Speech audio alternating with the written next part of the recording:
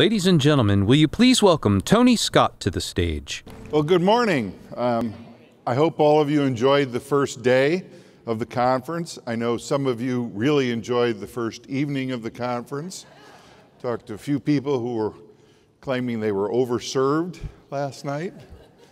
That's okay. It's all part of getting together and exchanging ideas and, and having fun. So um, I'm, I hope the excitement uh, from yesterday, uh, and I know it will, continues through the day today.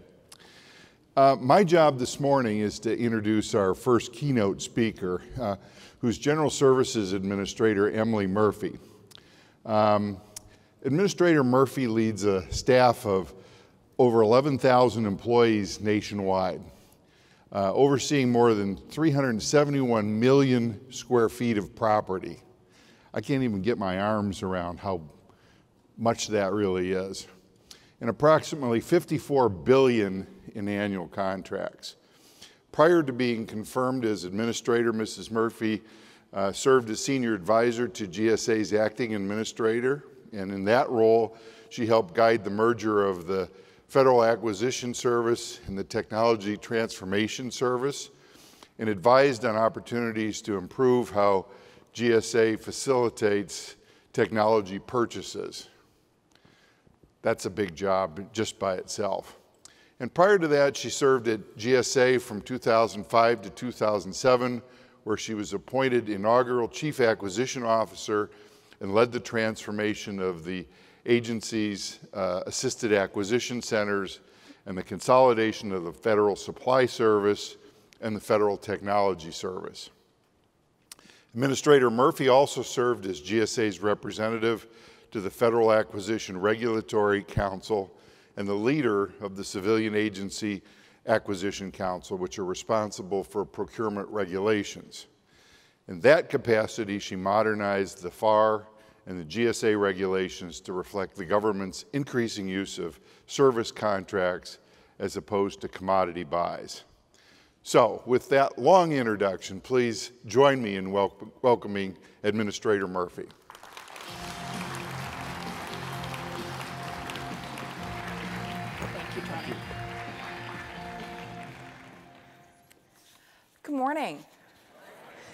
First of all, thank you, Tony. I really appreciate that introduction.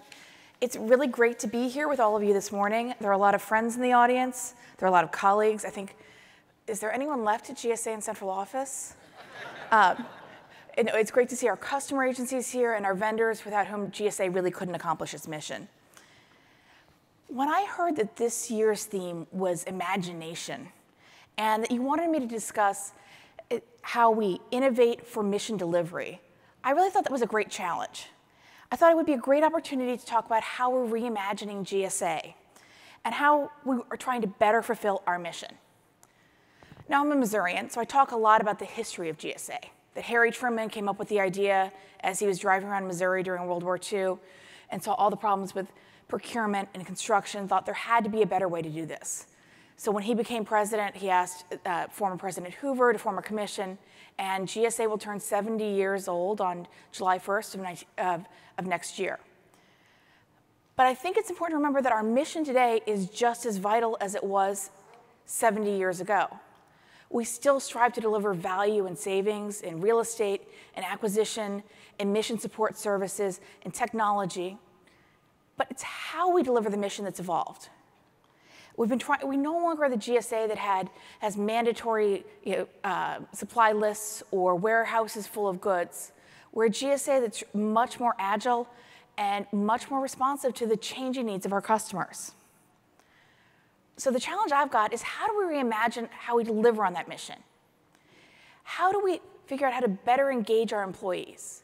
How do we better serve our customers? How do we create opportunities for our vendors to better provide solutions across the government? I'm going to share my ideas, but I'm really going to save some time at the end so that we, for feedback. I'd like questions. I hope this can be a dialogue. So I'm a visual person. Um, I thought I would try and come up with a picture of how I, I, I see GSA in the future, and then they're going to try and put this up and see. Oh, good. All right. Um, I think that really there, we have our people, four enablers, and three focus areas. And first, I want to talk about people, because without people, nothing's possible. And as I said, many of them are actually here today. So, the first thing we have to work on is how do we continue to recruit the right people? How do we retain the, the quality workforce we have? How do we reskill that workforce so they can take on new challenges? And how do we recognize them? How do we say thank you? Part of that's thinking big, and I think Margaret Weichert was here yesterday talking about ways we can think big. GSA the last few years has asked for a billion dollars for a workforce fund. But part of it's also about thinking small.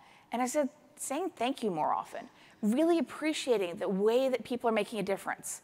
Uh, the, trying to just get out and talk to folks and, and you know, really share the vision, but also hear from them, because there's some brilliant people I have the privilege of working with and getting their ideas. Part of supporting them also, that was giving them four enablers so that they can fulfill that mission. It allowed them to transform what GSA is doing to higher value work. The first of those is IT modernization. That's not a surprise to anyone here in this room. Whether it be the Technology Modernization Fund or the work we're doing with robotics process automation, tools enable change. I know that we've got Alan Thomas here in the audience and Suzette, you're gonna hear from Suzette Kent tomorrow. I know that they've talked quite a bit about how we're using technology to really drive forward the president's management agenda, but also GSA's evolution. The second area I want to talk about is customer experience. It's not a, it, it should not be a surprise to anyone that GSA was the first agency to have a chief customer experience officer. And I think Anahita O'Reilly is here, or uh, Anahita O'Reilly is here in the audience somewhere. Yes, there she is.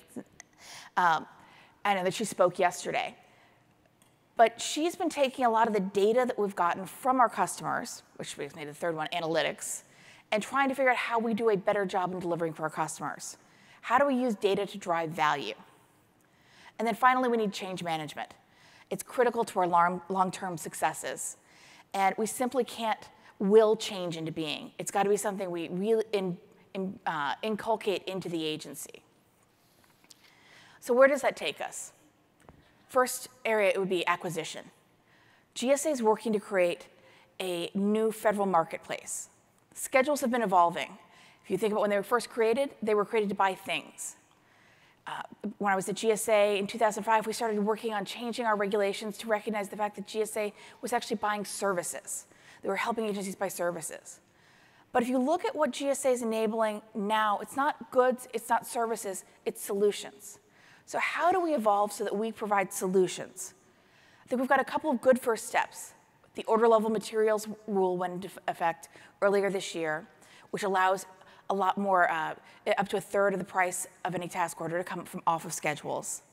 We're working on the uh, commercial marketplace, and I think that will help us address small dollar value items. But I think the work that Alan Thomas and FAS have been doing on the schedules reform is really visionary.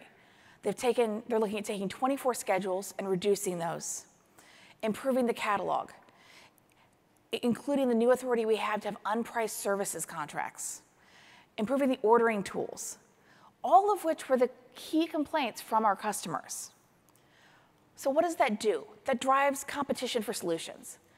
By having an unpriced task order, for, you know, if we unprice, uh, I'm sorry, an unpriced contract for services, we don't have our 1102 thinking about the ceiling price.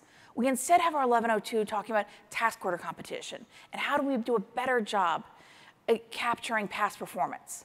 We enable our agency customers to buy that solution, we enable our industry partners to deliver a solution. And it allows us to reimagine how the 1102 is going to be functioning. It creates a, a really dynamic pricing in our marketplace. The second initiative I want to talk about, I promise to be brief about it because I know when I start talking about public buildings in this room, um, I'm not going to get the warmest reception. But I want to talk about it because it's exciting work. And it, I think what you're going to really be interested in is the tactics they're using and the results. So last year, fiscal 18, the Public Building Service delivered eight, or, I'm sorry, $900 million in lease cost savings for our customers. They expect to do that again this year. So the question is, how are they doing it? Well, they went back to the principles of analytics. They, they went in, they dove into the data on the leases and figured out where there was the greatest opportunity for savings. They went and they worked with the people and deployed them on those areas where you had the opportunity for savings. And now they're working to bring technology in, and they've been using robotics process automation. And there's actually one initiative that they're hoping to launch this year that in and of itself will save 10,000 hours of work a week. If you think about that, that's five years for any, for any individual person. That gives us really that ability to reskill the workforce to high value work. Finally, I want to talk to you about shared services. The President's management agenda put GSA as, as a co lead on the CAP goal for sharing quality services across government. And they gave us an ambitious goal. They said, We're spending $28.6 billion on those services right now, but our customers aren't happy. They gave us the challenge of saving $2 billion, but also thrilling our customer. And we're trying to do that. The first steps took place in fiscal 18. At the end of, of, September, we awarded the new pay contract, which is a $2.5 billion contract done as a software as a service procurement, and we're expecting savings of up to 75%. With fleet, where GSA already manages about a third of the government's fleet, we've been deploying things like telemetry, so we get better data, so we can better manage the fleet. And we're finding that when we, we take over an agency's fleet, we deliver usually 26% savings to them. And then we've got the centers of excellence. And we've, I have to say, we have the most wonderful partners in USDA and HUD. Um, HUD, we're just kicking off. We've got a meeting at the White House tomorrow to really officially launch the, their Center of Excellence. And I know that Secretary Censky is going to be talking to you in a minute about everything that USDA is doing. But we've got some really good early wins. With data center consolidation alone, we've been able to close 21 data centers. The goal was 18. That means 6.9 to 8.5 million dollars a year in savings for USDA. We've got data. The uh, dashboards that USDA has now that were developed using the COE are amazing. They were so good. I saw the demonstration. I had dashboard envy. I brought the center. I asked the people from USDA to come over and do a presentation to GSA. And so they came into our senior staff meeting, and I'm meeting with my data practitioners next week to find out why I can't have these dashboards too. But it's really driving a culture of change where you're embracing all the opportunities that technology creates, how it allows us to provide better customer experience. And I'll let Deputy Secretary Censky speak more about what he's doing, but it's really exciting. Uh, also want to talk about HRS, the Human Resources Solutions at, at OPM, that's moving over to GSA. I think it's an incredible opportunity to improve our, how we're delivering services to our workforce. We have a great relationship with Margaret Weichert, who's now the acting director at OPM, and I know you all heard from her yesterday. But we're already delivering savings. The HCATS contract, which was jointly managed by GSA and OPM, we've been able to reduce the fee from 2% to 3 quarters of a percent. And that's good for our customer agencies because it costs them less. But frankly, it's good for our vendors also because it makes their solutions easier to access. We're looking at opportunities that cross the agency. So in the Public Building Service, we provide space. The Federal Acquisition Service and Technology Transformation Service, we provide technology that enables employees to work better. And then we've got the telework group in HRS. Coming together, I think we're going to be able to deliver a better solution for federal workers. And this opportunity to create greater value is really where I see GSA evolving. All of this leads to key outcomes. In fiscal 18, GSA was able to save or avoid $6 billion in costs for taxpayers and for our customer agencies. Our goal is to save 6.2 billion in fiscal 19. We're looking to simplify how, it, how we work with you and with, uh, with our vendors, with our customers, whether it be through schedules modernization, whether it be through adopting things like robotics process automation and blockchain and artificial intelligence. And we're looking to reduce the burden that we put on our vendors. We're looking to increase satisfaction. I want happy customers. I want a great relationship with industry, and I want a workforce that's motivated. We have the best driver. the federal government has an incredible mission. And being able to deliver to our workforce the opportunity to deliver on that mission in a way that they feel that they're delivering high value every day would be a real success for GSA. So this is how I'm reimagining GSA. But I did want to make sure that I didn't use up all my time, and I saved time so that I could ask, open it up for feedback and questions. Is anyone going to take me up on it? Thanks.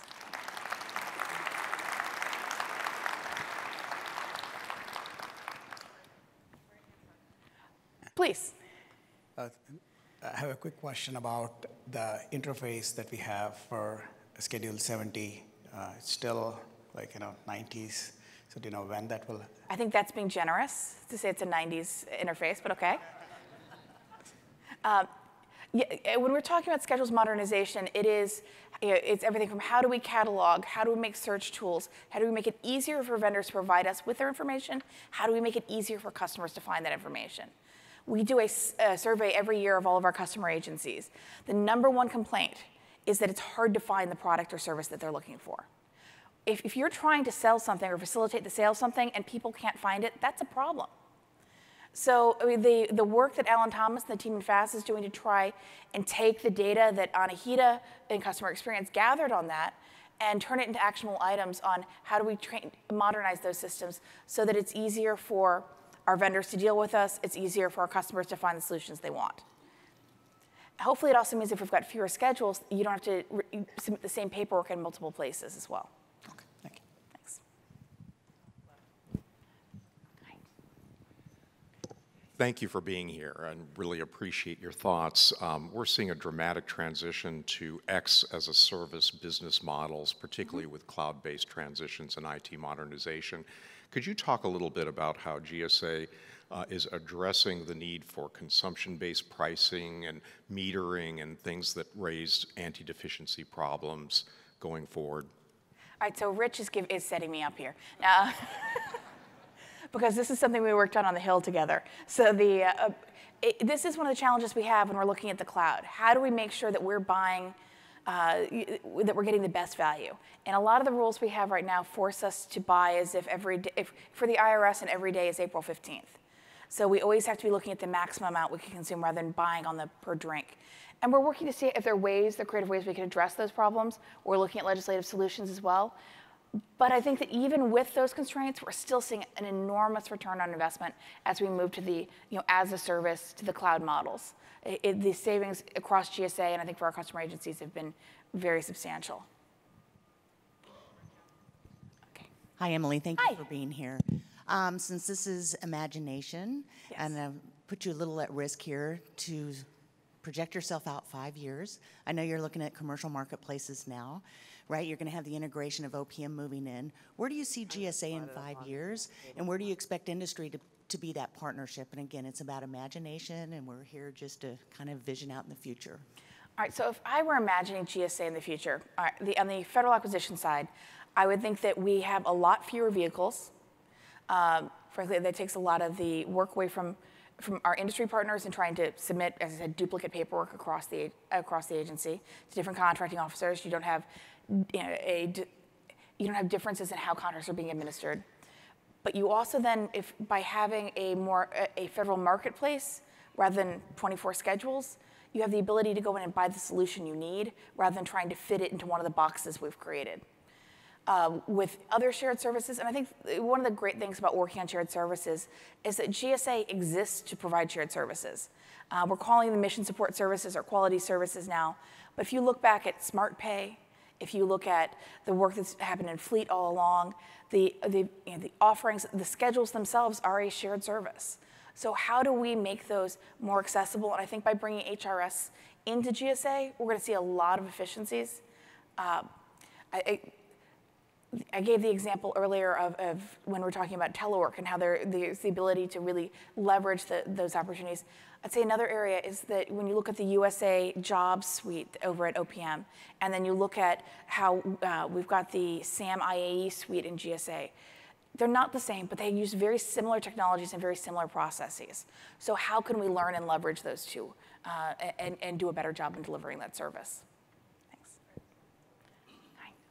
What can be done to speed up the purchase of emerging technologies? It was one of the topics of our techno sessions yesterday. Thank you. That's a great question. Um, and GSA, I know that along with DHS and with several other agencies, has, look, has, really been focusing on how do we do a better job in that area. We've got our eh, commercial services offerings that we've been making available. We've got a first few awards that have gone out.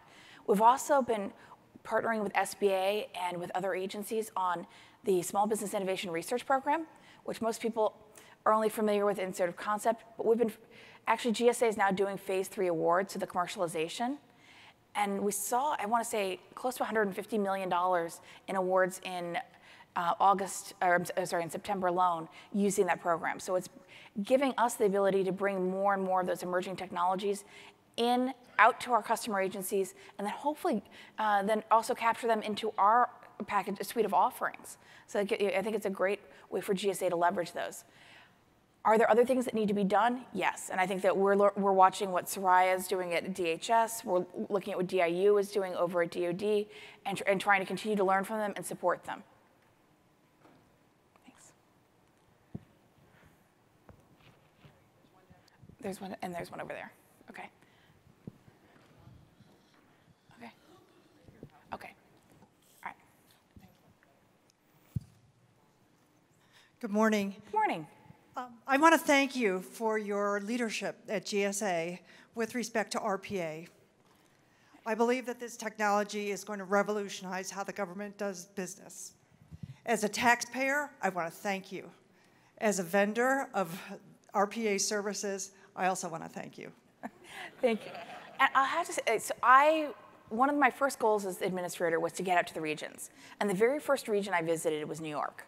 So I made it up to New York City, and Jeff Lau, who's with the Federal Acquisition Service there, it wasn't on the schedule, but it found half an hour and, and showed me a demonstration of how he was using RPA to speed up certain processes.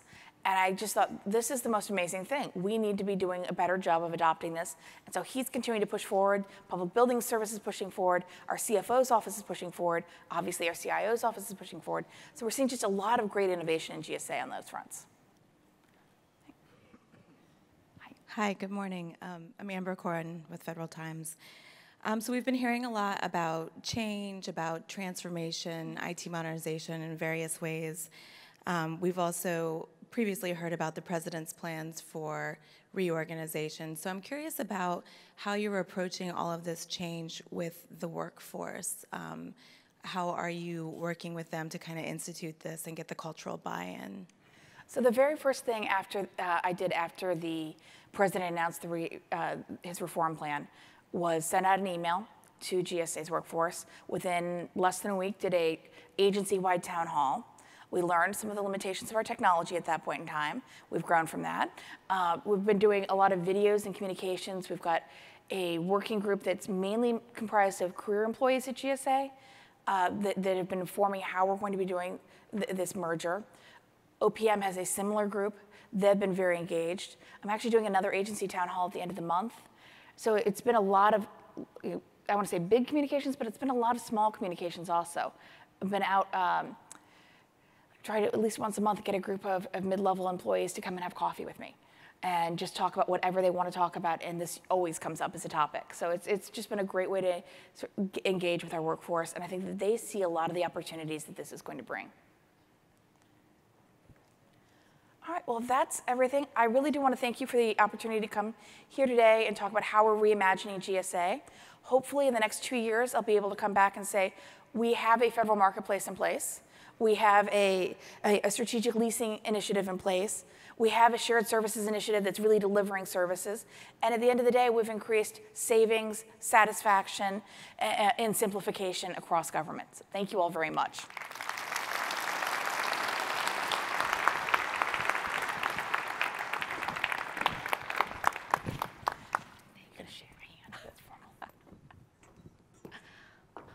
Well, thank you, Administrator Murphy, for sharing your thoughts with us today. We in the acquisition community rely on GSA for so much of what we do.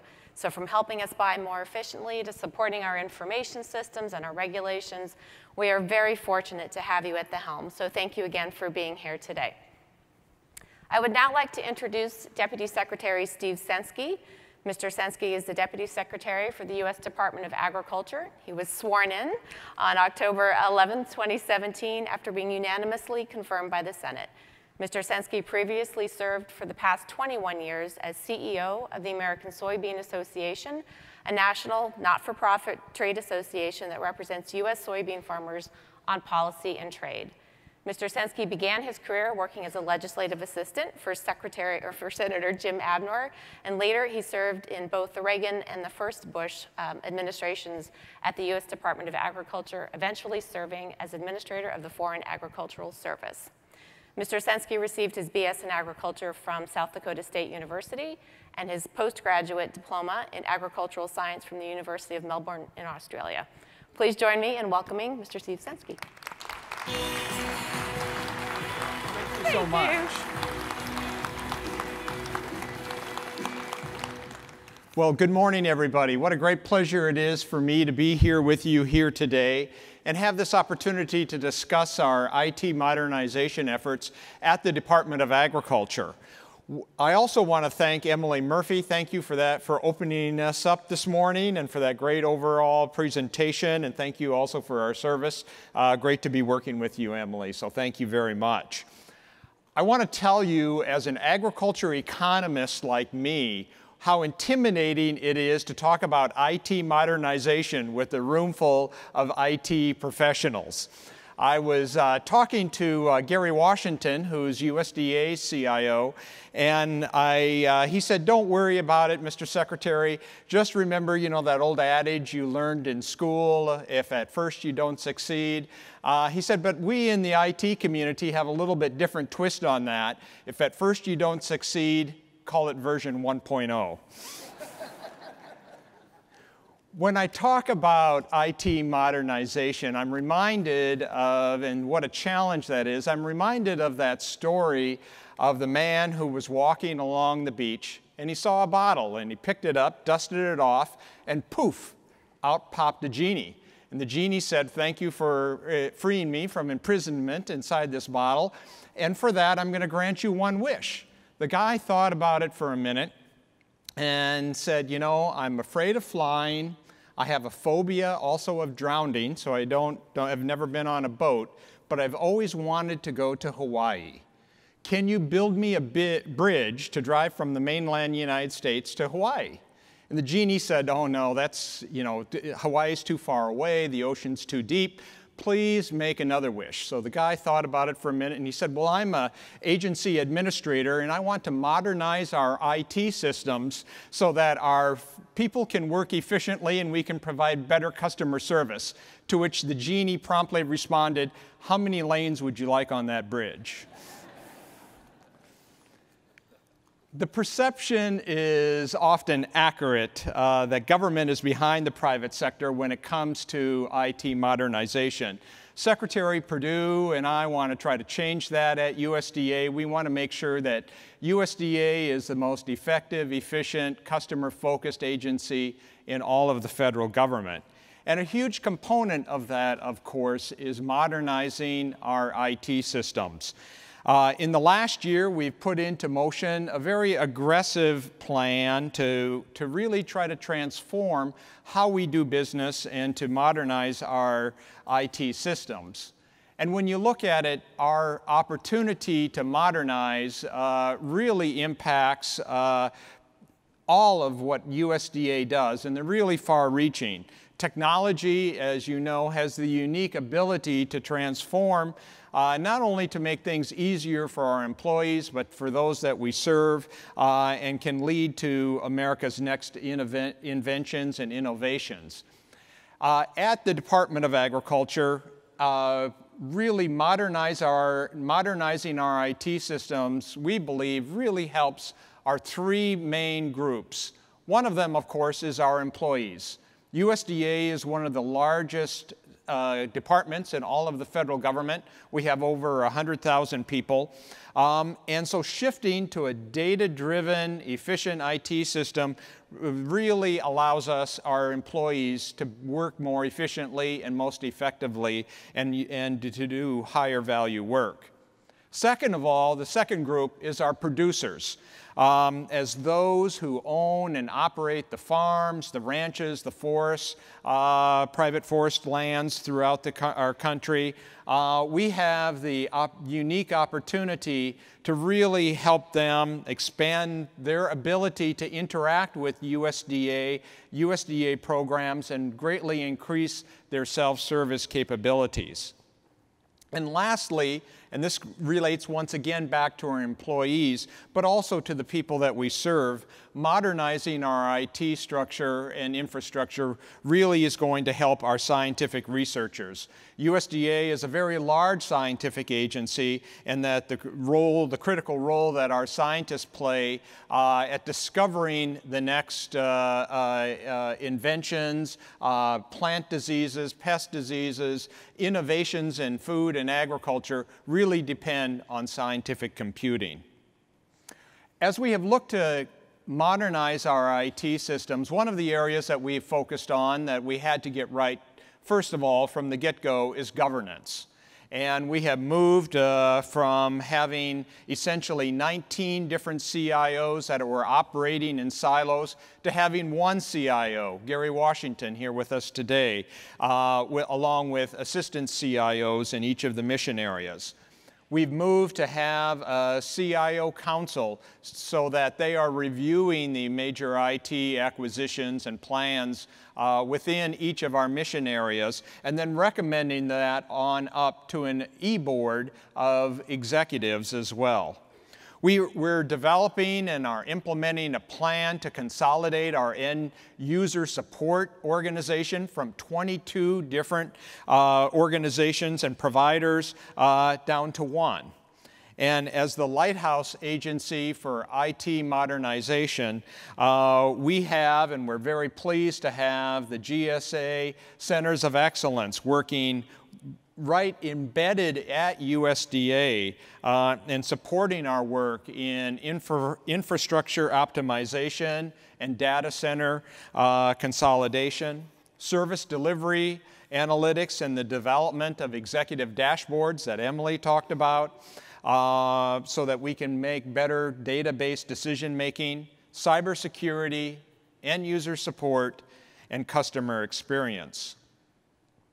A key to our success, I think, thus far, is the priority that's been placed at the very top on IT modernization. And I think that has really helped. Secretary Perdue, as a two-term governor of Georgia, understood what, how important IT modernization was to transform the Georgia state government so it better served the people of the state. And he's brought that same mentality to USDA about placing that focus from the very top and emphasizing it continually about the need for IT modernization. I think also as part of that, of course, is having the right leadership. And, and once again, like to call out Gary Washington, our CIO, and his team, as well as the great team that we have from GSA that is embedded at USDA. Uh, we partnered with GSA and the Centers of Excellence, and we conducted about a six-month assessment of what our current needs were in each of those five areas. Uh, we, uh, as part of through that process, we've reduced the time uh, for a system to obtain an authority to operate from nine, an average of around nine months previously to 90 days and, and that was through uh, engaging in a business process improvement process. We also uh, are uh, outlined what the desired state was in each of our those five centers of excellence and with the cost benefit analysis. We also, along the way, have taken steps to already close 21 of our 39 data centers on the road to having just one with one backup. Um, and we've, of course, administrated uh, or implemented the administrative dashboard capability with data analytics. So far, we've realized around $26 million in cost avoidance and savings. And now we're, of course, moving on and just entered into phase two, which is the actual implementation of the plan that was developed during the first six months. We anticipate that in this phase two, process. It is uh, 12 to 18 months, with most of the work being completed within the next 12 months. Of course, that doesn't end, as you well know, the modernization effort. That is just the start. And that's one of the, I think, key benefits that we really see with having the, the centers of excellence embedded at USDA is that we're able to sprint in these areas, develop the talent and the expertise, and then when the centers of excellence move on to work with other agencies, maybe your agency and department, uh, we have that institutional knowledge to begin uh, to continue on with our effort. I'd like to talk finally about a little bit what we call our farmers.gov project. And in February of this year, we launched uh, what released what farmers.gov, which is a dynamic and mobile friendly website that delivers information, tools, the ability for farmers and ranchers to apply for programs and services online. Um, and uh, it is an external website uh, that is a customer gateway. Uh, it is, uh, it is uh, part of an authenticated and transactional portal where USDA customers can log in, they can apply for programs, they can process technical and financial transactions, and manage accounts.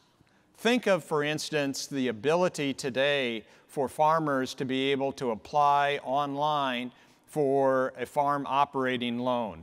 Or think, for instance, for the, the ability of the farmer, and in fact, we're seeing this today uh, with the disasters that we're having today, so that a farmer can not only get information about the kinds of assistance that's available to farmers and ranchers as a result of the hurricanes that we've been having, but that can also make application for those programs, and then that can begin to be uh, processed by our folks so that those services and that assistance can be delivered.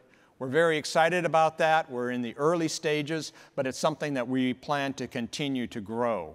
It really does provide our farmers, our ranchers, our private foresters uh, with these self-service tools, uh, the educational materials so that they can find out about the programs and then uh, apply for the programs and can uh, sign up and, and receive the benefits as well. I must say that throughout this modernization effort that we've been going through, clear communication is really the key.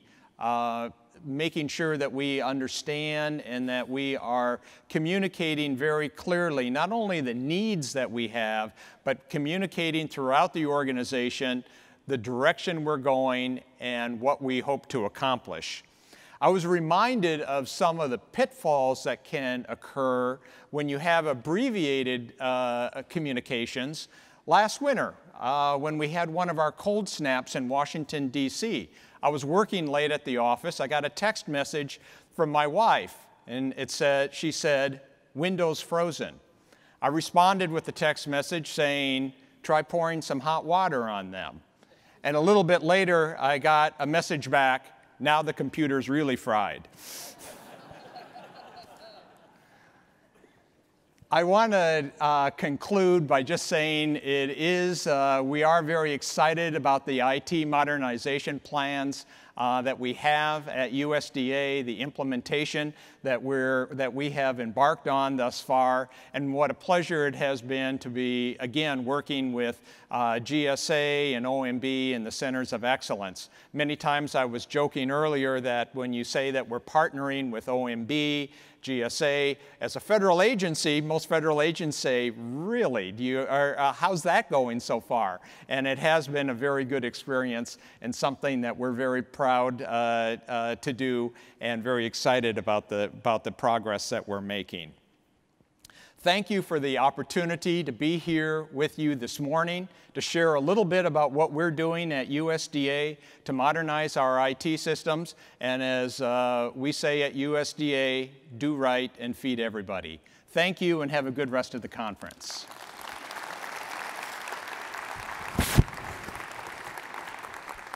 Great. Thank you. Thank you. Well, thank you, Deputy Secretary. We really appreciate your being here today.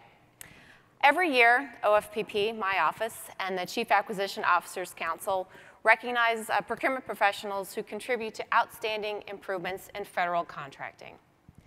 In addition to our General Acquisition Excellence Award and our Small Business Award, This year, we're pleased to add the Lisa M. Wilusz Program Management Excellence Award. Lisa, who was the director of the Office of Procurement and Property Management at the Department of Agriculture, passed away suddenly in April of 2017. She was an amazing and talented colleague, and she is missed by all of us. But her commitment to program management and acquisition excellence will carry on.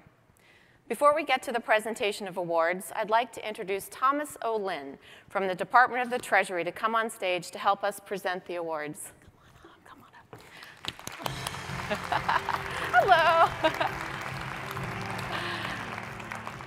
so Thomas won the CAOC Open Opportunities Contest, and guess what the prize was? Coming to ELC. Uh, yes.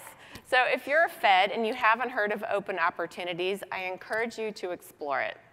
It's a modern way to train the federal workforce through brief exchanges with colleagues offering uh, or asking for expertise on the Open Opportunities platform. Do you need to do an industry day? Post an opportunity for somebody who's done it before and they can come help you develop the agenda. Do you need a frontline view of a proposed policy? Because they're not shy about telling you what they think. Um, go ahead and post that. You'll certainly get a lot of feedback.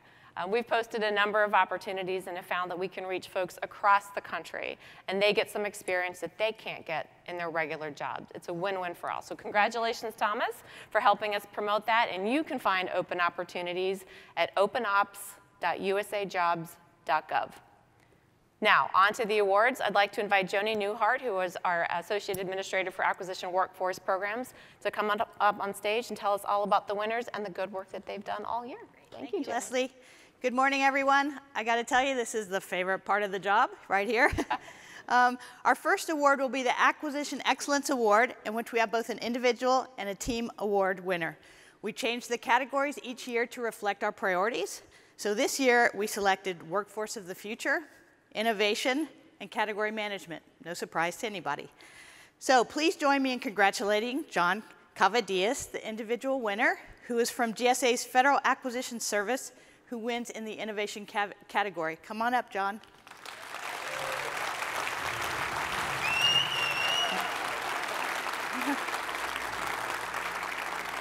John won the Individual Acquisition Excellence Award for his work in solving the cost realism analysis problem for multiple award IDIQs.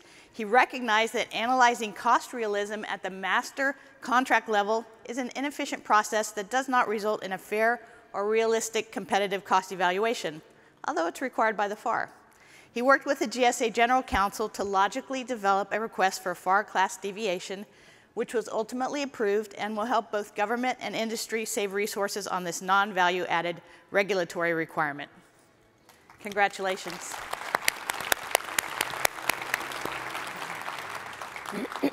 great, great award. Our next award is to the team winners, Nathan Briggs and Jared Annable, who are from Customs and Border Protection at the Department of Homeland Security. And they also win in the innovation category. Nathan will be accepting the award because Jared had a pretty good excuse for not attending. He got married this past weekend. Nathan Briggs and Jared Annable won the Team Acquisition Excellence Award for their work in merging product demonstrations with testing as part of the source selection process for next generation density meters. Their efforts resulted in a quick contract award of 107 days and a reduction from the $7,000 anticipated price per unit to $2,000. Their show me versus tell me approach has helped to transform DHS's procurement culture by sharing lessons learned with their colleagues. Congratulations.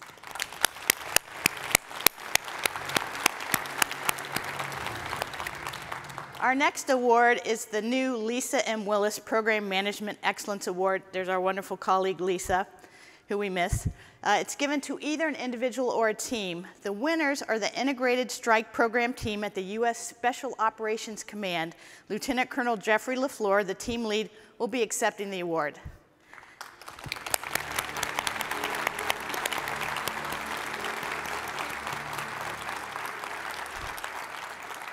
The ISP team's efforts in using collaborative government industry teaming, which we love, and acquisition flexibilities on the AC-130J program, leveraging existing GPS hardening equipment on the AC-130W program to enable operations in contested environments and using other transaction authorities for the rapid fielding of small glide munitions. These efforts, these wonderful efforts, collectively saved $594 million and most importantly, address the most urgent combat shortfalls from the combatant commanders. Congratulations.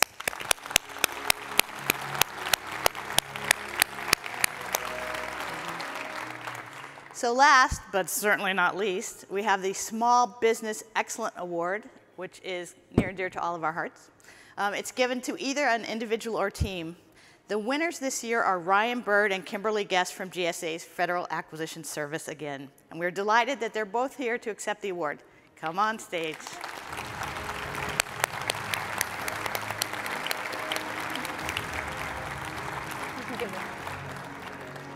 Ryan and Kimberly combined three previously awarded contracts into one omnibus contract to support the Counter Rocket Artillery Mortar CRAM program for the Army.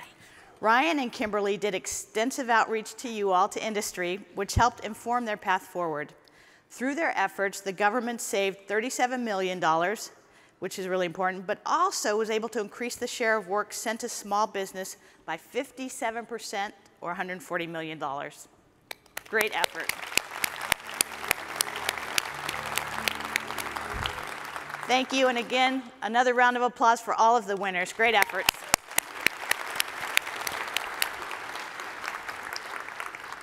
Thank you, Joanie, and congratulations again. So now I would like to introduce Tim Cook, who is the ACT IAC Program Manager for the Institute for Innovation. Tim, come on up. Hi, Sue. Good. Uh, so yesterday, Margaret Weichert talked a little bit about the President's management agenda and the important work that agencies are doing to modernize IT, make better use of data, and build a 21st century workforce. So in order to make this happen, our acquisition system, which supports over $500 billion in federal contracts each year, needs to modernize as well. So I was really excited when ACT IAC asked me to be the government liaison to ELC because I wanted to highlight the importance of the acquisition system in mission delivery. We want to shift the culture of the acquisition community away from the process-driven, sort of compliance-focused model that we've got to a more outcome-based model.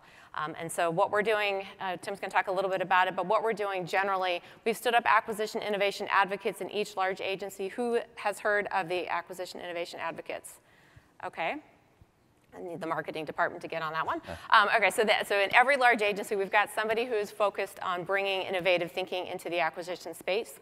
Um, we created the Digital IT Acquisition Professionals Program thanks to uh, USDS and, and to Joanie Newhart and, uh, and her team. So we're doing a lot of great work. We're leveraging the work that Soraya Correa is doing at DHS and the Procurement Innovation Lab to kind of bring all of this full circle so that we've got more innovation in the system that we've already got and also thinking about what else we can do even beyond the system to make acquisition work. So we're partnering with ACT IAC um, Institute for Innovation to drive some very specific solutions. So I wanted Tim to come up and talk a little bit about that today. Tim. Okay, great. Thanks, Leslie. Uh, it's great to be with you. Um, we did have a few slides. I'm not sure if they're going to show up, but I will be able to uh, talk you through them. Um, so the Institute for Innovation uh, is, not only cares about IT innovation, uh, but also cares about acquisition innovation. Uh, and so they started a project um, which is ACT IAC's attempt to support Leslie and her team to foster the adoption of great ideas in acquisition innovation for fostering IT modernization.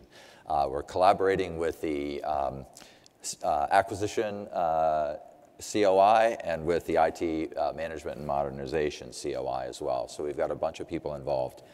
Um, if I could get the um, next one, please.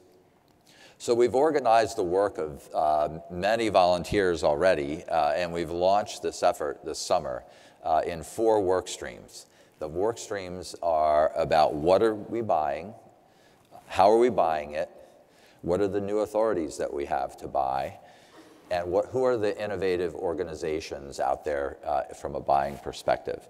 Uh, so in the first area of what are we buying, uh, we're calling this our problem focus it's already come up this morning. Uh, as a service, cloud, uh, new technologies, uh, uh, software development, cybersecurity, the things that we're buying that are part of the IT modernization plan. Um, that's the focus of that group. What they're finding so far is that a variety of agile uh, approaches to these uh, acquisitions are proving successful. already. Um, and again, they're in a discovery phase right now, uh, and they're out to discover more of what people are doing. Uh, from the process side, uh, this is more about how we're buying, right? So show me, tell me has already come up this morning. That's a very rich approach to actually getting your hands on to a technology or a solution. Um, in addition to uh, orals type presentations or other uh, presentations like orals and demos uh, and alternative evaluation uh, approaches like comparative evaluations. Um, so that's what that group is doing. They're organizing their work into a periodic table of elements. Who remembers chemistry? Um, so what they've done is bro broken down the acquisition life cycle into a periodic table, and they're using that to organize all the various innovations that they're discovering out there that people are actually doing today. Um, the third area is special authorities, and the special authorities, uh, I mean, people often think of things like OTAs or challenges or prizes. These are special authorities. They're not usually in the FAR. Um, there's a really special one at, at NTIS, uh, which is uh, innovative data solutions, uh, where they have are able to create joint venture partnerships with the private sector to bring those innovative data solutions to agencies. Um, so that's a special one as well. So all those special authorities is the subject of the third group. Uh, and then there's a really uh, high level of interest in uh, Leslie's team on who are those innovative buying organizations out there? Who's actually trying new stuff? Who's seeing if it can work? Who's seeing if we can expand the aperture uh, beyond what we typically do, uh, as she said, away from compliance-based to outcome-based? Um, and so we're identifying the organizations. We found that two-thirds of the CFO Act agencies already have activities in motion uh, that are intended to to provide innovation in buying. Uh, what are the attributes of those organizations? How do they work? Can other people adopt those kinds of approaches? Um, so let's go to the next one. Uh, so yeah, you can see it up there. Okay, so this is just an example. This is a very early uh, web page uh, that is on Leslie's uh, homepage. Uh, and it's uh, early results of, of the um, the focus area three, the, the, special, um, the special authorities group. Uh, and so they posted this up there. You can see the website. I encourage you if you want to uh, go to that website, see what's there. Um, this is just a very preliminary um, encapsulation of what they've found. So the next slide. Uh, so this is really who's doing it. Um, and we've got a great team of leaders. There are many, dozens of volunteers already involved in this. Uh, Ellery Taylor, Tim Denning, and Frank Kuschel have done a great job so far with this uh, focus area one, the problem uh, approach. Uh, and then Dave Zvenyach and Gisa Sateri, who's here, uh, are leading the process focus. Um, Arnie Kravitz uh, with, with Leslie's team and others are leading the special authorities and Dan Jenkin, uh, again, with Leslie's team and others. So what I would like to do now is just to say, we've got a great start. This is a huge landscape. There's a lot going on. There are questions this morning that directly pertain to what this group is doing. Uh, and what we hope to be able to provide are answers to your questions that you've been asking this morning. How do we, what do we do to innovate the acquisition business of government so that it can buy tomorrow's technology today and not yesterday's technology tomorrow. Okay, so that's the goal. We're going to get there. Uh, it's, a, it's a really exciting effort. If you would like to volunteer, we have lots of folks who are uh, acquisition oriented in the, in the volunteer group already. If we could get some more folks with an IT, uh, kind of the what are we buying, uh, and what does that really mean? So it's, a, it's definitely an overlapping team. We need to know what we're buying and how we can buy it. Uh, Mike Howell will be your point of contact. I would love to get some more volunteers for all of these teams, uh, and thank you very much. Great. Thank you, Tim. So that was a, that was a commercial for uh, volunteerism. So please, uh, if you're interested in any of those areas, and we really do need great thinking when it comes to the acquisition space and how we can innovate and be responsive um, to our customers and to the public. Um, so now um, I would like to invite Tony Scott back to the stage so that we can run through um, the second part of the agenda. Thanks, Leslie. I'd like to invite Steve O'Keefe to come to the stage and join me. Um, uh, where did Steve go? Here he is. MeriTalk and ACT-IAC's Reimagining Government IT study sounds out the state of IT modernization, exposes challenges, and shakes out how to make things better. More than IT examining our own navel, the report pulses 300 finance, procurement, and IT pros for 360 degree insight. Top line takeaways We're at a tipping point. 83% of feds say mission success depends on IT modernization. Biggest change drivers Cyber EO, Cloud Push, followed by MGT and FITARA. And agencies aren't just talking modernization. 76% expect a spike in IT modernization budgets in FY19.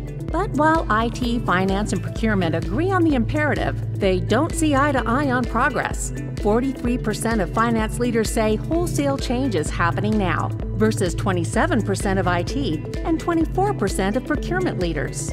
And if they disagree in spots, they agree vehemently in the need for workforce development and training. Just 28% feel confident in their agency's investment in workforce IT training. Have we piqued your interest? Download the full story on federal IT modernization at MeriTalk.com. Imagine the possibilities for America.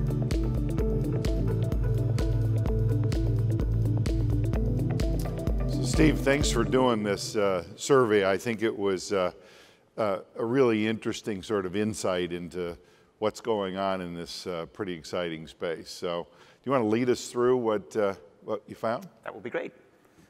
Good morning. I'd like to say how impressed I am with how many people there are here this morning, considering how the party was going last night. There's obviously some real stamina in government IT. so, reimagining government it's an interesting idea. But as we're all talking the talk about reinventing and reimagining, are we actually walking that talk or are we just, are we, are we just talking about it? And so what we wanted to do with this study, we were excited for the opportunity to partner with ACT IAC and also to sit down with Suzette Kent and her team at OMB to put together a study that would look at what we're actually doing, candidly to cut through the BS, find out where we're making real progress, and try and find out where there are opportunities for us to get modernization to really blast off. So, I have been referred to as a space cadet by a few people over the years. My name is Steve O'Keefe. I'm the founder of MeriTalk. Uh, we are the leading federal IT publication. We also put on conferences, analyst uh, type reports come out from our organization. We also routinely testify on both the House and Senate side on federal IT issues and workforce issues. And of course, I'm delighted to be joined by the Neil Armstrong of federal IT on the stage, a man that really needs no introduction in these orbits. So what have we got? The report itself. Uh, we're just going to be able to hit the highlights this morning, but if you're interested in getting the whole study, you can get it from meritalk.com.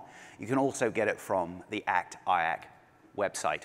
We also have a video, infographics, and sundry different ways of, of consuming the information. But again, the whole study is available at meritalk.com. It's free if you want a closer encounter with the data.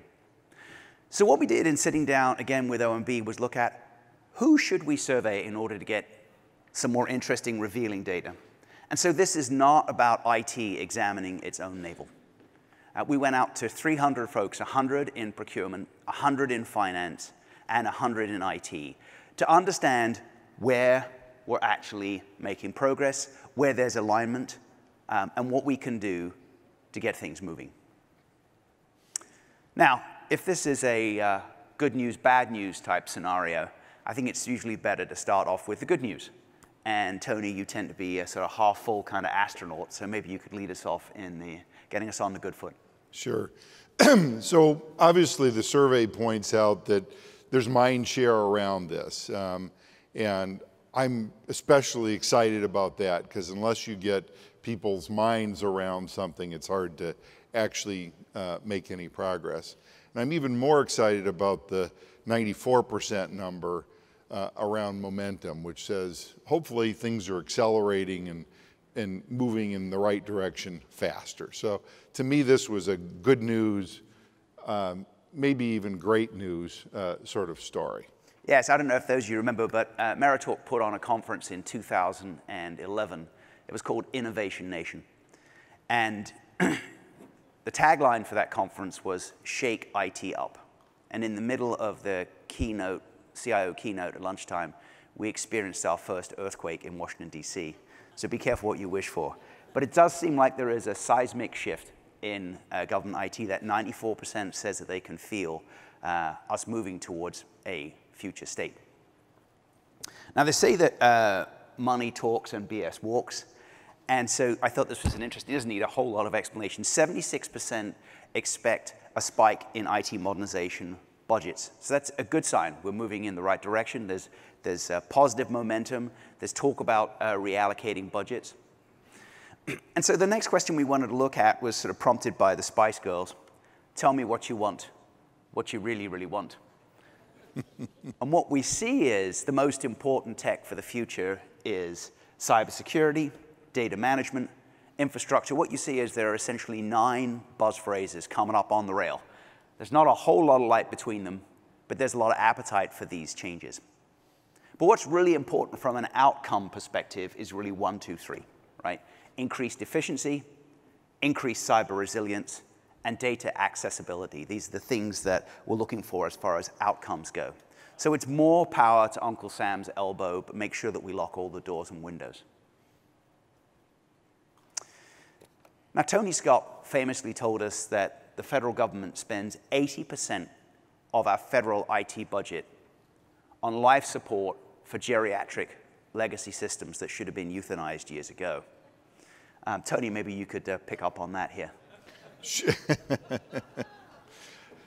well, and it's not just 80% uh, of the spend, it's also the efficiency of that spend, as we've talked many, many, many times, is not great. The bang for the buck that you're getting for that 80% is not, uh, you know, well spent in my view. So um, the whole idea behind modernization was spend money better on the right things, um, and uh, I think overall there's big uh, savings uh, if, you, if you can do that. So I think this is an interesting set of statistics.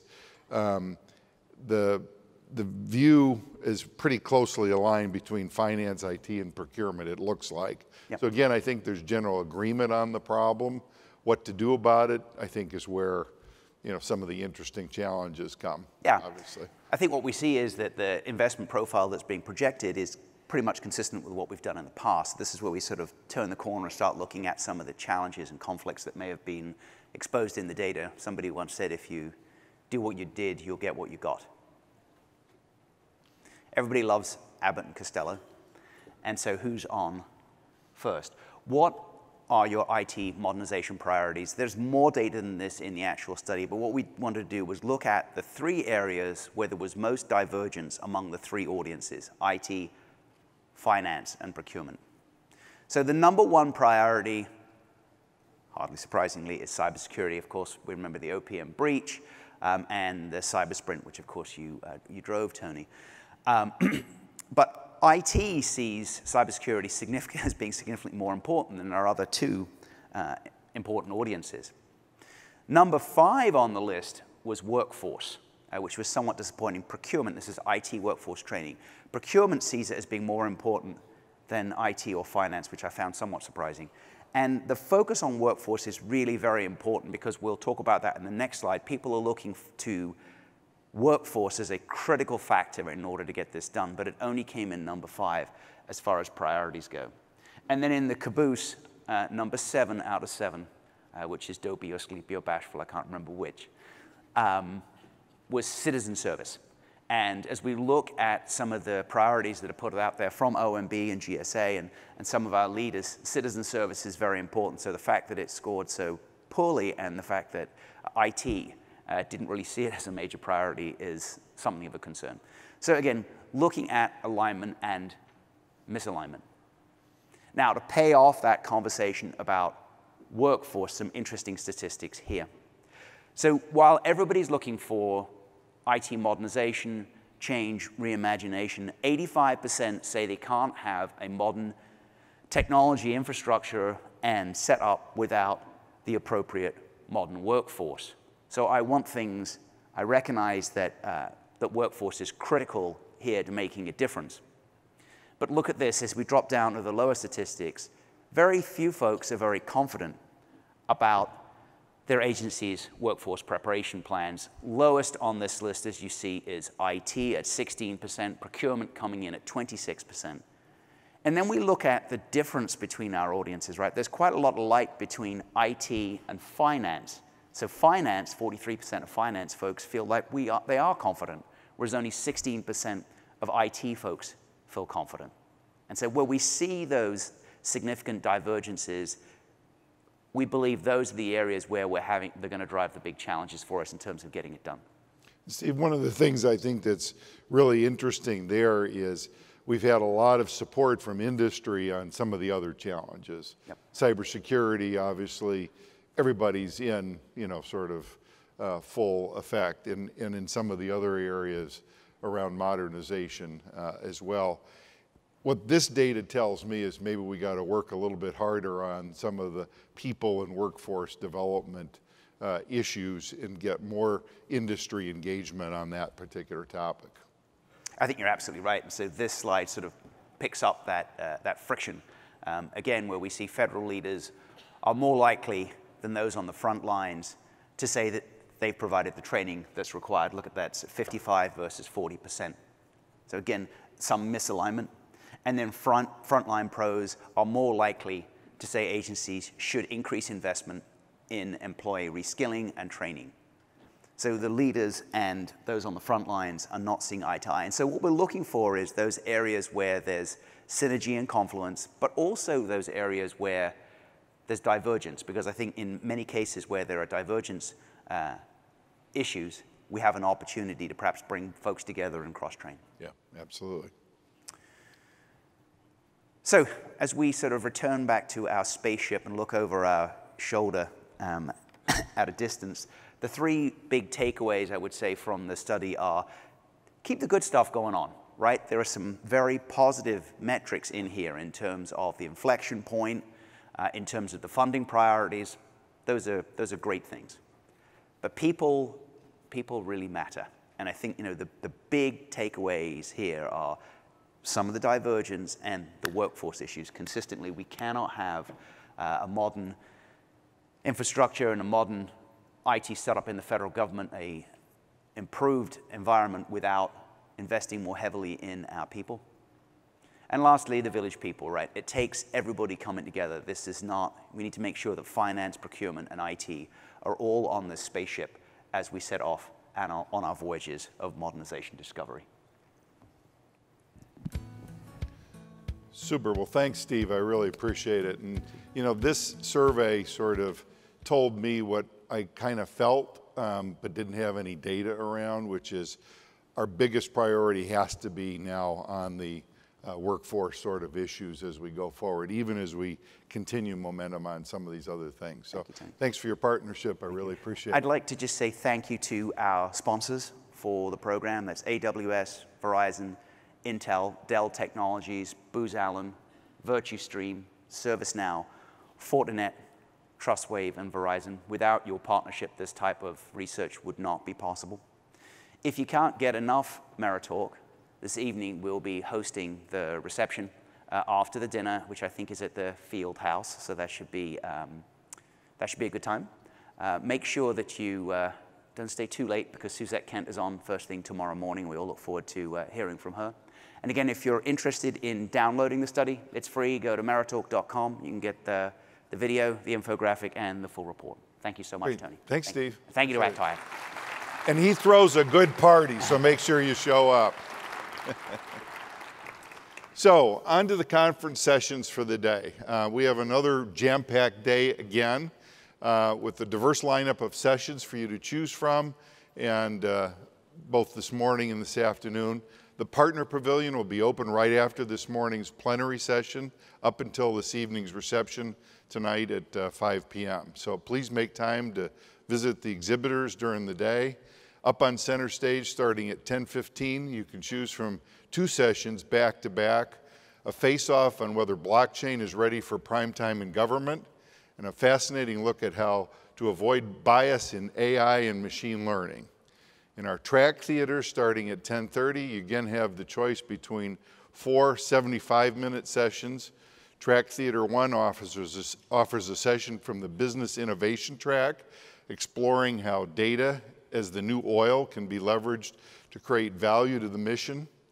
Track Theater 2 offers a Modernizing for Mission Success session with uh, focus on acquisition innovation and the results of the ACT-HAC competition that ACT-IAC ran in late summer. And in Track Theater 3, the Enterprise Resilience tracks host a discussion on zero trust architectures. And in Track Theater 4, our modernization track hosts another facilitated interactive session in the Imaginarium, focused on customer experience and how we capture the voice of the customer through empathetic research. In the Techno Showcase Hubs, again, we offer four unique interactive sessions. In the Customer Experience Hub, the U.S. Department of Agriculture will lead a discussion on measuring ROI for a customer experience program. In the Cybersecurity Hub, DISA will focus on maturing capabilities that meet tomorrow's threats. In the Emerging Technology Hub, DHS will lead a session on the use of robotics. And finally, in the Modernization Hub, the Department of Justice will host a session that explores the connection between innovation and data. Just like yesterday, participants will engage in interactive sessions in each hub using human-centered design methods to explore potential solutions and strategies. Lunch today, very important, is a networking lunch. Food will be served in the Techno Showcase, Partner Pavilion, and other open areas on the show floor. We'll then roll right into the afternoon programming with sessions continuing in the center stage, techno, and track theaters. Igniting innovation sessions start in the Techno Hubs at 1.30 p.m.